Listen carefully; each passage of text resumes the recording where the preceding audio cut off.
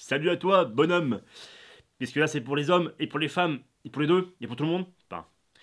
Petit sujet sur la barbe longue aujourd'hui. Dix petites choses sur la barbe longue. On va les mollo, et après, je vais descendre des gens. Logique.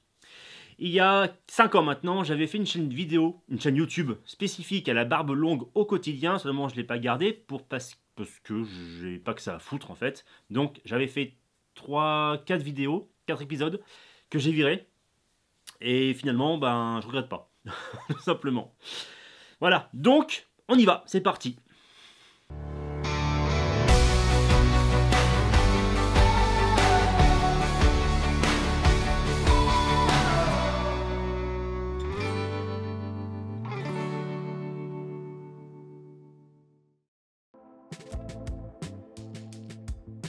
Comme les cheveux, longs, la barbe longue, fourche. Donc il faut des fois épointer, couper. Et à peu près tous les, tous les ans, je coupe entre 10 et 25 cm. Ça dépendra forcément de la tête, euh, de l'état de la barbe. On se coince facilement la barbe dans les fermetures éclairs. Tout en dessous. Alors quand il y a des manteaux qui arrivent jusqu'ici là, même, euh, là, et eh ben c'est des fois c'est compliqué. Il y a quelques années, il y a une étude qui a été faite par je sais pas qui, d'ailleurs, je m'en fous pas mal, qui disait que la barbe avait énormément de microbes et de saloperies à l'intérieur. Alors, information importante, la barbe c'est comme le cul, ça se lave. Quand la barbe n'est pas attachée, avec le vent, c'est fait des trucs bizarres, ça fait ça, et c'est super désagréable. Beaucoup de femmes veulent faire des tresses dans la barbe. Je ne sais pas ce que c'est comme maladie, mais putain, c'est courant. Il paraît que les mecs qui portent la barbe longue ont des choses à compenser. Voilà. Tout simplement. On peut avoir des problèmes de se tirer sa propre barbe quand on dort. Elle peut passer sous les selles ou elle peut être bloquée sous la tête de l'autre côté. Quand vous changez de position, en fait, ben, vous, vous, vous rachez la moitié de la, du poil parce que faites demi-tour. C'est chiant.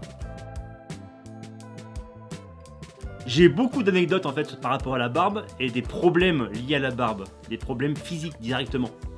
Genre euh, se la coincer dans le l'accélérateur, entre l'accélérateur et le, starter, la tondeuse, autoportée. Ça fait bizarre. c'est vraiment bizarre.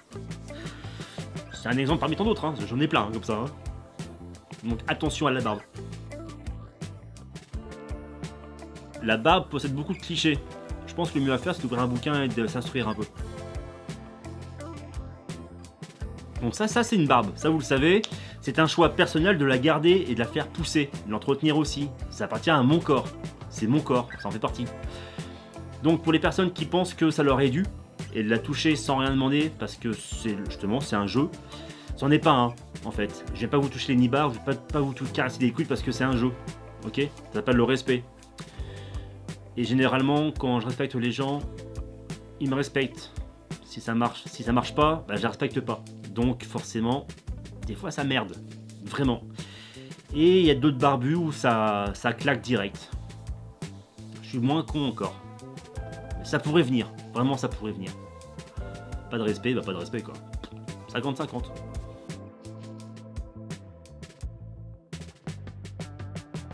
Une dernière chose, la barbe c'est personnel, hein, comme j'ai dit. Le problème c'est qu'en France, principalement en France, parce que ça je l'ai vécu qu'en France d'ailleurs, c'est une attraction. Euh, donc forcément on pense que c'est à soi quoi. En fait non. Le corps de l'autre se respecte. Le corps de l'autre on le respecte normalement. Sauf en France, apparemment. Et puis bon, voilà, c'est ma barbe. Hein, et euh, je joue avec. Comme j'ai envie, je joue avec. Il n'y a pas que moi qui joue avec. Hein quand elle s'y met, ben, voilà. Parce que qui dit grosse barbe, ben, grosse barbe, hein. grosse barbe, grosse bagnole, grosse bière et petite